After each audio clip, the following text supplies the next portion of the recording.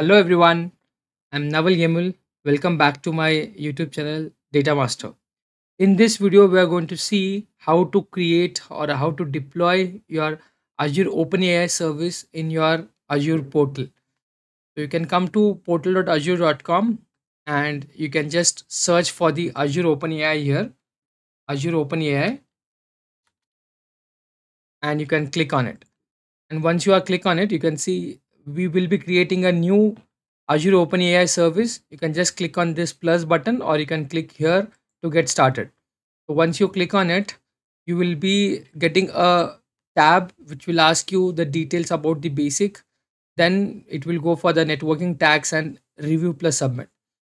So if you want to start using Azure OpenAI in your Azure portal, first you need to fill out fill out the Microsoft form where you need to give all the details like what Azure serv- OpenAI service you want to use it. So I have already filled that form and now I can create an Azure OpenAI service in my subscription. So I have two subscriptions here. One is Azure Pass and the pay as you go model.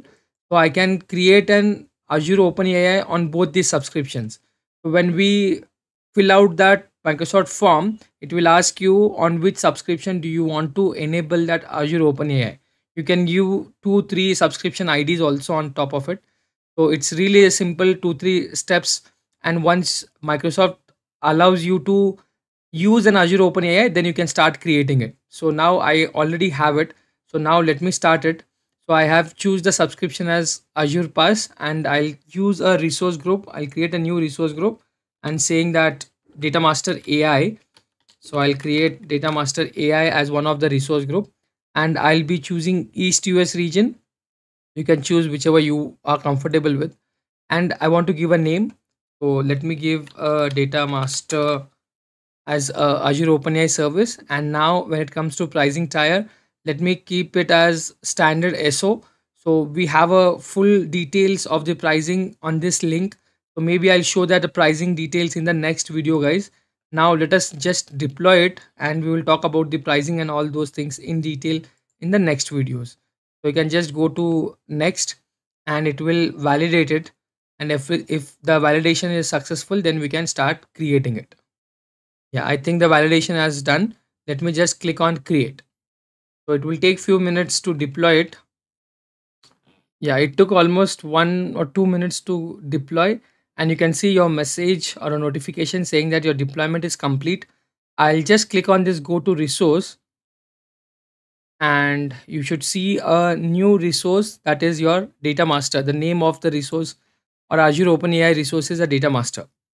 And you can just open a or click on the Azure OpenAI Studio. You can go it from here or you can build a generative AI apps by using an Azure AI Studio you this uh, it's still in preview but you can use it.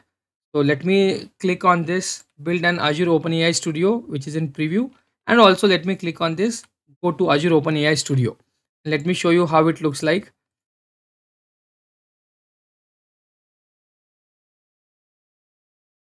Yeah so you can see here this is your azure openai studio. So from this openai studio you can start building your own gpt model so we have an options like chat, then we have an options called pay, playground, and we have a management deployment here. So you can deploy a new model here.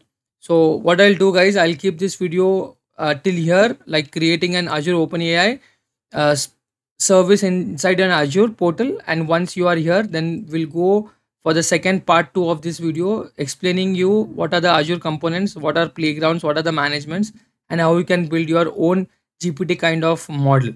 And then the next playlist or the next video would be based on the Azure OpenAI Studio also. Okay. Thank you guys. Thank you for watching this video. I hope you enjoyed it. If you like the video or the content, please like the video, subscribe to my channel. Thank you guys. See you again in the next video. Bye-bye.